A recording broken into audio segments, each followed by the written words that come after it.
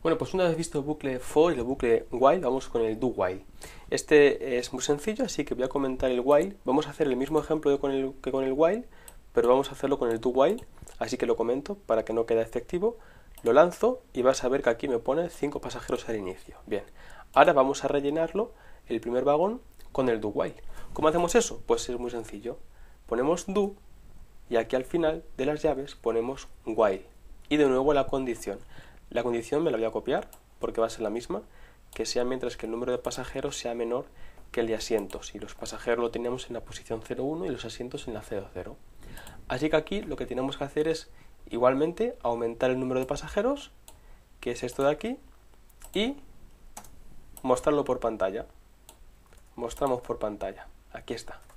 Actualizo, lo lanzo y aquí lo tenemos de nuevo. 5 al inicio y 1 a 1 fue aumentando. ¿Qué diferencia hay entre el bucle while y el do while? Que el bucle while primero pregunta y luego ejecuta.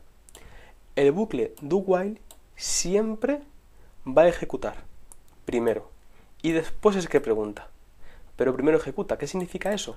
Que si aquí al empezar, imagínense ustedes que los asientos ya estaban 10 pasajeros dentro y la capacidad es de 10, si yo hago un bucle do while, voy a cometer un error, porque lo va a aumentar, va a meter un pasajero más, va a meter 11 pasajeros donde solamente hay 10.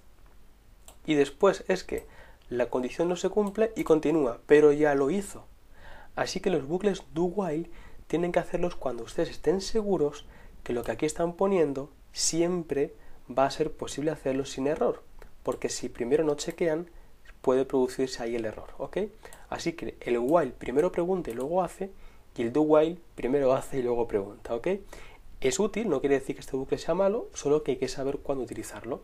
Pues ya hemos visto todos los bucles, voy a descomentar esto para que ustedes tengan aquí el bucle for, ahí lo ven, y el for anidado, uno dentro de otro, el while y el do while. Pues bien, una vez hecho este vídeo, ya ustedes saben todos los bucles que tienen dentro de Java.